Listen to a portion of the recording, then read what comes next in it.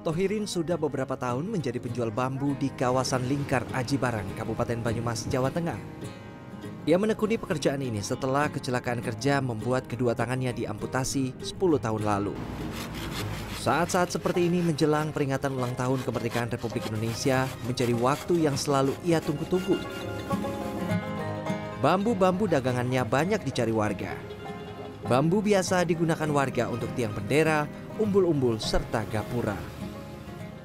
Ya cukup lumayan lah. Dan sekarang ya keadaannya sedang COVID? covid, keduanya ya ada atau enggak kayak gitu. Yang Tapi penting rame ya? Lumayan lah. Harga bambu yang dijualnya tergantung ukuran, mulai dari Rp10.000 hingga Rp15.000 per batang.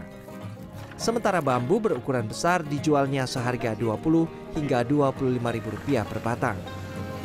Tahun ini Tohirin mengaku penjualan bambunya meningkat dibanding tahun lalu.